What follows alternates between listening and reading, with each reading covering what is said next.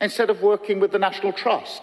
So more people. Before we get to a horrible thing that Tory MP Ben Bradley has said, here's a time when he got royally owned.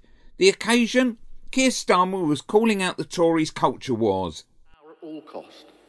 The Tory party is undertaking a kind of weird McCarthyism, trying to find woke agendas in the very civic institutions they once regarded with respect. There, does he mean you, Ben, when he's talking about the weird McCarthyism, trying to find woke agendas in the very civic institutions they once regarded with respect? Very vacuous nonsense, to be honest. The idea, and, and, particularly because on a weekend where the Chancellor is talking about the economy and the headroom he's got to be able to support people and cut taxes, he's the one talking about the woke agenda. Nobody else was talking about it. Yeah. Um, I do think that it speaks to a, a cultural challenge for Labour, actually, that when we've been discussing really important issues today, he's got no answers to those. He's got a rhetoric around things he thinks he can win on. Starmer had cited the National Trust in that speech you just saw, which was directly related to a letter that Ben Bradley had put his name to.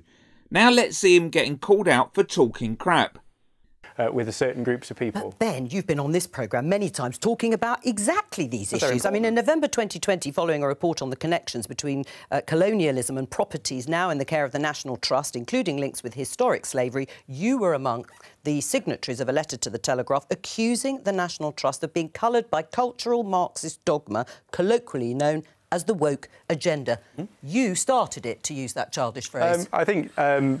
Oh dear, Ben, you just got owned. Anyway, when you see Ben walking down the road giving it all that, Lower taxes, safer streets, and better run local services. It's what local Conservatives are known for delivering up and down the country. And your vote on the 2nd of May will decide who is in charge of those services, how much they cost you, uh, and who is delivering on your priorities. Remember, he said this. Those who claim benefits should have vasectomies so other taxpayers don't have to provide for their children. Nice one, Ben. Click here for a video on Lord Ashcroft hiding from questions on tax in a toilet.